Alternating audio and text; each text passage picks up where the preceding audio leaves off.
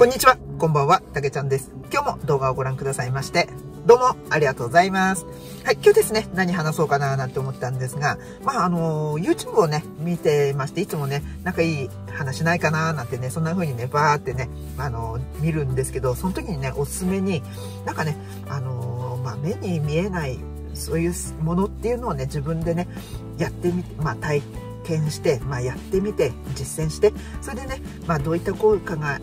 出るか実験みたいなそんなね、まあ、チャンネルっていうか、あのー、まあ、アフメーションあ言霊とかねそんなのをね、まあ、1ヶ月間続けてどうなったかっていうようなねそんなね動画が出てきましてあちょっと面白そうだななんて思いまし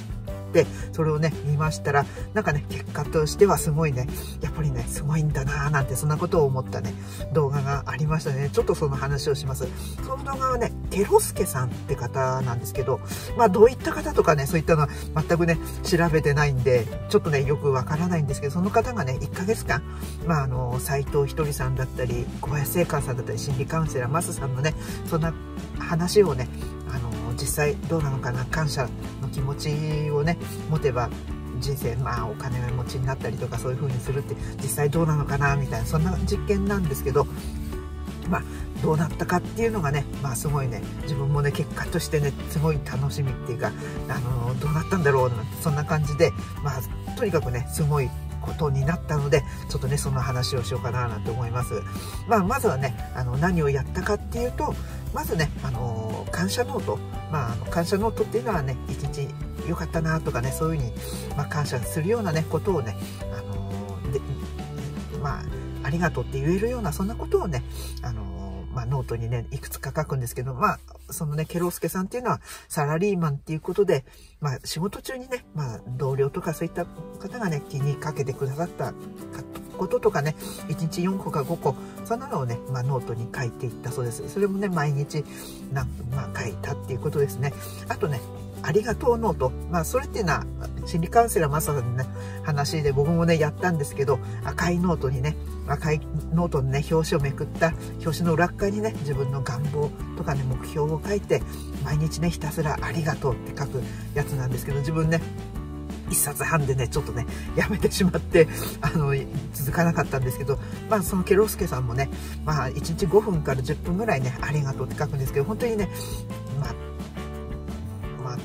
こう書けない時っていうのは2行とかで終わってしまったんですけどそれもね毎日続けたそうです。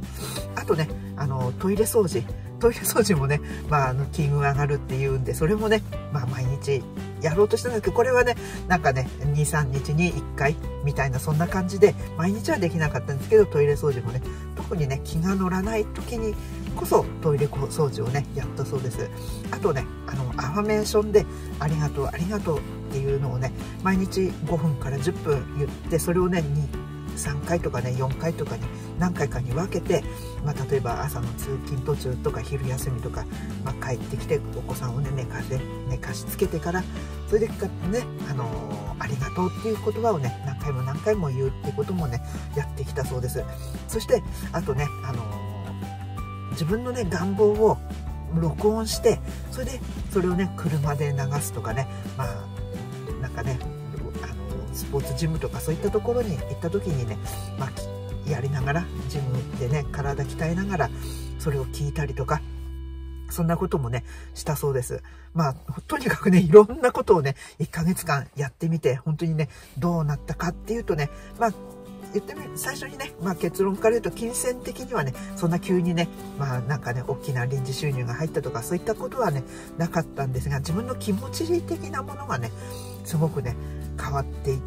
いったのがねすごくねよく分かったっていうようなことをね言ってました。まあ感覚的にっていうことなんですけどまああのまずねあの変わったのがあのまあなんか仕事でねちょっとチームでこうやるそうなんですけどそのねチーム戦チームでやるんだけどそのねチームのリーダー的な、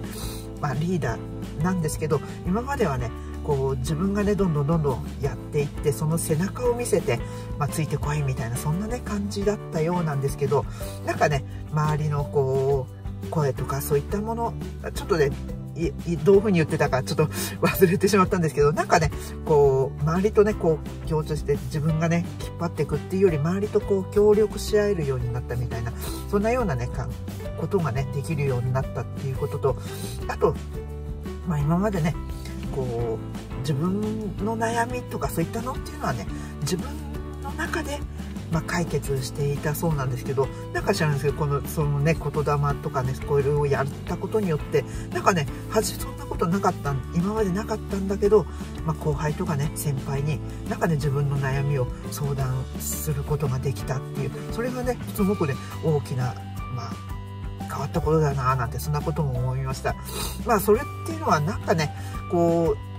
ずっとね感謝の気持ち、まあ、ありがとうとかずっとやってると本当にねなんかこう心地いい自分がねすごくね心地いい気持ちに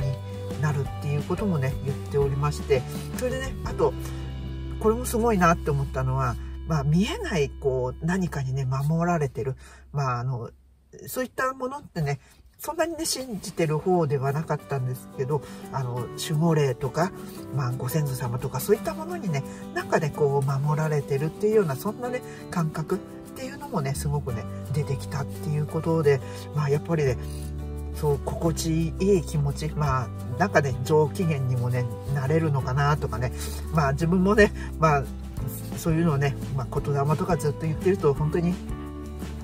としね、まあ嫌だななんてそんな風にね思うこともやっぱり上機嫌でいられますしまあそういったねこ、まあ、心地いい気持ちにもなりますしまあそういったね見えない何かにね守られてるっていう感覚もね本当にねよくわかるななんて。まあ1ヶ月間ねちょっと短い期間でもそんだけの、ね、効果をね感じられたっていうことです。あとね金銭的にはねなんかね奥さんがねまあ以前ね物販をややられていたそうなんですがそれもねあのー、なんかねそれをやり始めてからちょうどタイミングよくっていうかね、まあ、お子さんが2歳と4歳のね男の子っていうことでやんちゃ盛りでね、まあ、いつもねまあそれでね疲弊してしまってる中なんかここねそれを自分そのねケロスケさんって方がやり始めたら奥さんもねそういうのをねまた物販をやり始めたっていうのはやっぱりね何かねあのー、まあそれはねまあ自分がこうやってたことではないですけど奥さんがねそういったのもやり始めたっていうことで何かね、まあ、関連があるのかななんてそんなこともねまああの自分はねなんか関連あるんじゃないかななんてそんなことも思ったりしました。またねそのケロクスケさんのね動画あの2ヶ月やった。まだ自分で見てなくて1ヶ月のしか見てないんですけど2ヶ月言霊を唱えた。5ヶ月6ヶ月ってね何本かね上げてるんで自分またねそれを追っかけてね見ていこうかななんて思うんですけど本当にねあの短い期間そういったことをねいろいろやってみてやっぱり効果っていうのをね感じられてるっていうのはねやっぱりすごいことだなーなんてそんなことも思ってまああのー、今回ねその動画もしあのー、あれしたら概要欄のところにねリンク貼っときますんでねまあ自分がね体験したことではないんですけど、まあ、自分もね体験したことではないけど言霊はねずっと言ってきて自分自身すごくね変わったっていうのがありますんで、まあ、そうやって1ヶ月ね短い期間やっただけでもそれだけね、まあ、気持ちの変化とか、まあ、いろんなね変化があったっていうことはやっぱりねすごい効果があるんだなーなんてそんなことをねすごく感じたのでちょっとねこのケロスケさんの動画ちょっとね紹介してみました。ちょっとケロスケさんにはねまあ何もね 許可も何も取ってないんですけどまたねあのー、もし皆さんね見てよかったらケロスケさんのねチャンネル登録とかもしてそれであのー話他のねヶ月後5ヶ月後6ヶ月後のね話もね見てみるのもいいんじゃないかななんてそんなことも思いました。はい。ではね今日の動画がいいなって思った方はグッドボタンまたはねチャンネル登録まだの方は是非チャンネル登録お願いします。では今日も最後まで動画をご覧くださいましてどうもありがとうございます。たけちゃんでした。ついてるついてるついてる。ありがとうございます。